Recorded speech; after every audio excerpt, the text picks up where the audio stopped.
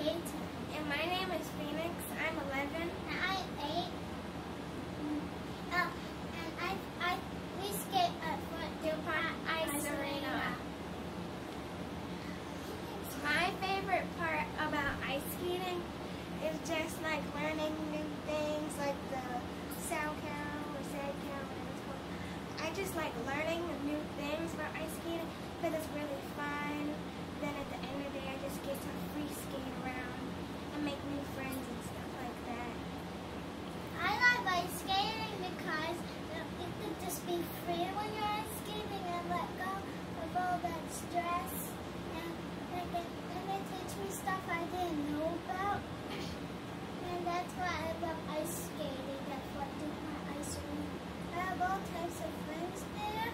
And I know long have you people, I know people who work there. long have you And it's very diverse. How long have you been People skating? who work. How long have you been skating? I've been skating for Since. since I was three. And I've been skating since I was like three or five. Three?